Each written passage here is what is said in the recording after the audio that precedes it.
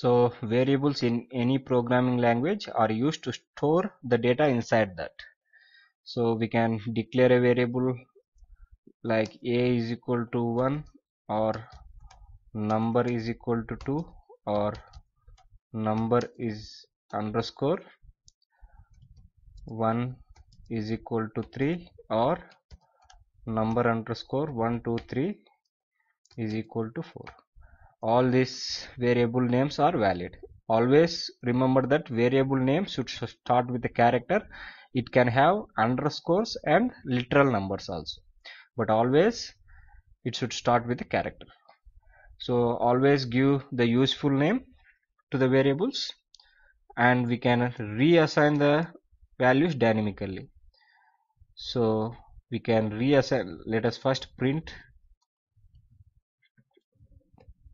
print a. Now the a value is 1 now we will reassign the values to the variable a is equal to 4 now if we print the value a print the value a now it is 4 so we can dynamically change the values inside the variables.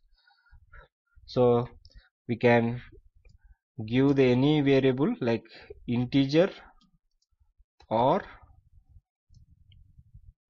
the string which is Peter let us say C is equal to any decimal number which is float. So in any other programming language like Java, C++ or C we should have to first declare the variable type. Like to store the name Peter in the variable B we should have to first declare the variable b as a character char but here see python is a dynamic programming language. So according to the result which we are storing inside the variable it will decide what type of variable it is. So now we can say like print a comma b comma c. And we can also operate like a plus b so why it is showing error? B is a string here and a is a integer. We cannot add integer to the string. So let us say one a plus c a plus c. A plus C is 46.45 so the integers and floats can be added and the result is also a floating point decimal point. So let us declare now like a is equal to always remember this 1 b is equal to 2 can you tell me that whether we can add both this or not? Let us see. Actually it, is, it will give error because we have declared a as a we are giving it 1 but we are treating the 1 as a string. Anything which comes under the quotations will be treated as a string. So this is an error. So for this we have a function called int a. First we should have to convert the value. Now a is a character type. We should have to convert it into the integer type and we should have to add both. So for this what we will do?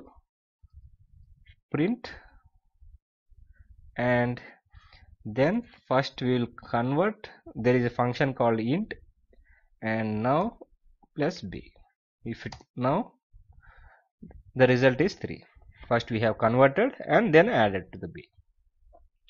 Like this we can use the variables. So always uh, i suggest use the variable names uh, very useful. Like uh, when you are writing a code for uh, students always write a useful variable names like student underscore name is equal to john.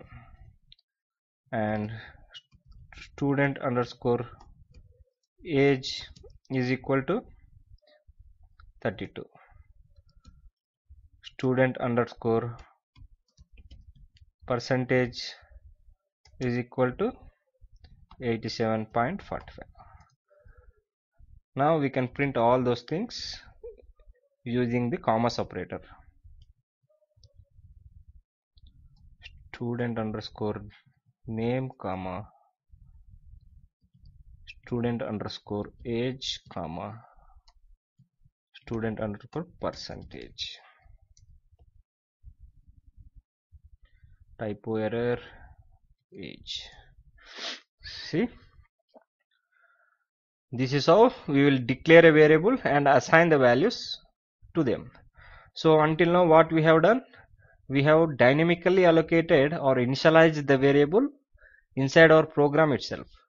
But in the next video we will be asking the user to enter the name from the keyboard and that we will be storing in the variables and we will be printing those variables. So until now what you have learned?